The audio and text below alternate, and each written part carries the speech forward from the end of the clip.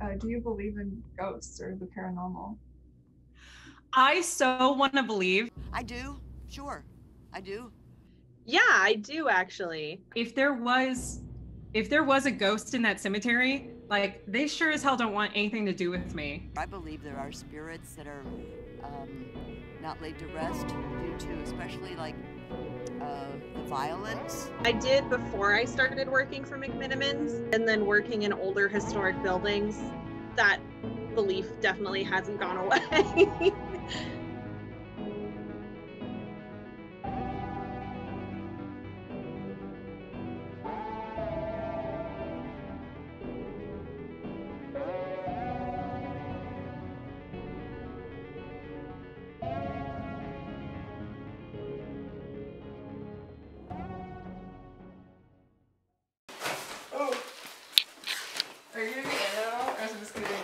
Um, I don't care. Alright, I can always film like that, all of it. And just hope that it doesn't die.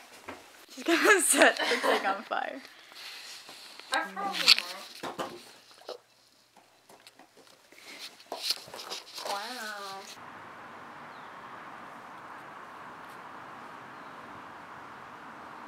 What role do you play with Lone Fir and like what do you do there? So I am on the board for the Friends of Lone Fir.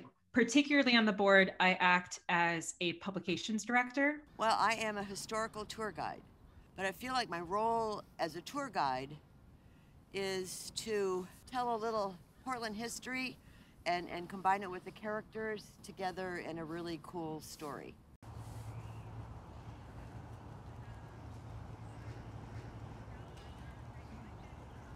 What role do you play at Edgefield? And like what do you do there? yeah, I'm the hotel manager. If you can think of it, and if it's hotel related, I am doing it. It's so fun to summon demons. How to play. How to play. Confirmed it's a game. Well, yeah, of course it's a game. Okay. Sit opposite your partner with the board between you. Also, do you know that there's apparently um a a thing that if you look through the hole of the planchette, you can see the ghost. Stop. I'm really disrespectful. Yeah, this is really mean. If this works, We're gonna get possessed. I'm gonna get killed. Do you think there are ghosts at the cemetery? I do. I- I don't know if it's like uh, you have to be the right person to to see or sense something like that. Like I grew up watching this anime called Paranoia Agent, Let's go over this one more time. And the whole premise of it is that um, this this like entity comes at you only when you're the most paranoid. It's kind of how I feel. Where I, I like I wonder, do I just come in too casual? Um, whereas my my friend Kristen, she has all of these incredible ghost stories. it's like, why you? Why do you get that? I mean, like I've heard people talk like very detailed about the different encounters they've seen, like a guy with a coat, or a guy with a cane, or a woman who's weeping. Like we'll we'll be giving tours, and and people say that they saw someone. And the one that I really remember is down here in Block 2, there was a woman who lost her children. And supposedly she came uh, after they died and brought a rocking chair, and she rocked there, staying with her children. And people have heard like a rocking chair, and they've heard children laughing. Is there a ghost story about Edgefield that you tell most frequently to your customers?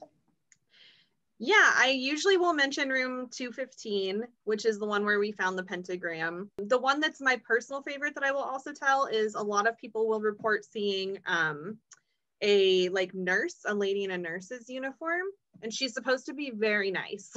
she's supposed to be like if you're wandering around lost on property and don't know where you're going, that's when guests kind of tend to see her. I guess is anyone here? Wow. Okay, let's ask a different question. Okay. time. Okay. Can you give us a sign that you're here?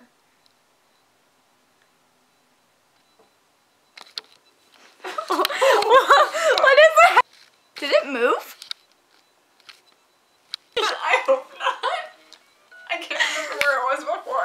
I'll tell you the only weird story. One afternoon, I came here, probably late afternoon. I was walk, walked up this road, walked around here. I didn't see many other people. And when I came back, in the middle of this road was a chair, like a kitchen chair. I don't know how it got there. I didn't see anybody bring it in, and it felt ghost like to me. But that's the only thing I've ever experienced. All right, let's do another one. Yes. What are we going for? Um, okay, well, first, I want to make sure that it was not a man on the wall. or anything like that. It was that like you who knocked on the wall or whatever? I don't like that it's moving towards yes, Audrey. Well, yeah, but just the fact that it's moving in general. oh, no! That was totally a person. No. Have you ever experienced anything at the hotel? Uh, so when we were closing in March, we had to close the whole hotel down. We we shut our doors completely for about three months. For three or four days between the last day the guest stayed with us and my last day before I went on temporary, I was the only person in the building, and I had to go into every room to make sure that curtains were closed and everything was secured and there wasn't anything out of place. And by the time i was halfway through like third floor i felt so strongly like i was not alone that i started actually like talking out loud because it felt very much like all of the energy and all of the spirits in the building were concerned that normally it's a really bustling place and then all of the people were now gone and so as i was going through the building i was like it's okay we're to come back i promise it's just for a little bit but it just very much felt like I was not alone in a way that I haven't experienced since. And I don't think it was just because I was alone in the building. Dude. No. We found one. Found a ghost. Can we like lock ourselves in? You want me to block the door? Yeah. Okay. Are you a good spirit or entity? We should. Oh my god. Avoid What should we avoid? asking if it's gonna kill. I'm gonna ask. All right, we're gonna die. Who's gonna die? Yeah, give us a name. Yeah. You're moving this. I'm literally not moving You're it. definitely I wouldn't move it it. to your name. Well, yes, you would. And I know uh, we've got, oh God, what was her name? I think her name was Addie.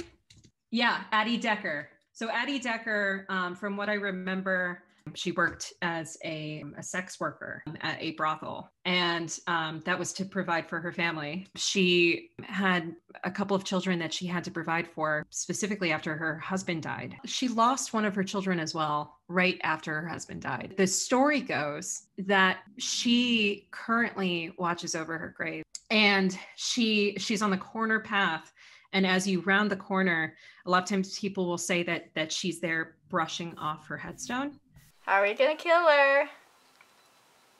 This is not funny anymore. It is. If anyone's Well, moving it, else? it's you. It's, you. Not me. Why would I want me to die? Hell.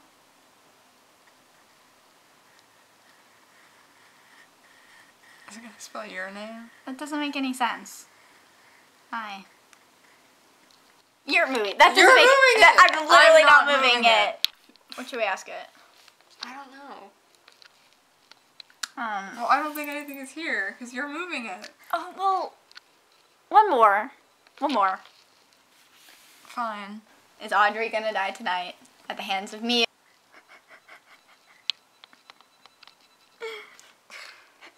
I'm gonna be done now. Come on. Whatever. I'm not enjoying this. You're obviously moving. I'm it. not moving it. Well, What else could it be? A demon. There's no demon. They Yeah, don't there is. exist. There was also another thing that I just remembered. So when we were in room 40, uh, there's that like wardrobe that's next to the door, and Mhm. Lili opened it, and then the other door just like swung open on its own. And then we were reading in the ghost log that somebody had that same experience. They, they hadn't touched the wardrobe though, but the door just like swung open and they had to go and close it. And I was just like, that's a little weird. Yeah. That happened to us. I'm glad you guys had an experience. That's so fun. It was definitely because at first I didn't really think anything of it because I'm just like, oh, the door just opened. But then we read that somebody else had like happened, like the same thing had happened to them, and I'm just like, that makes it a little weirder. Yeah.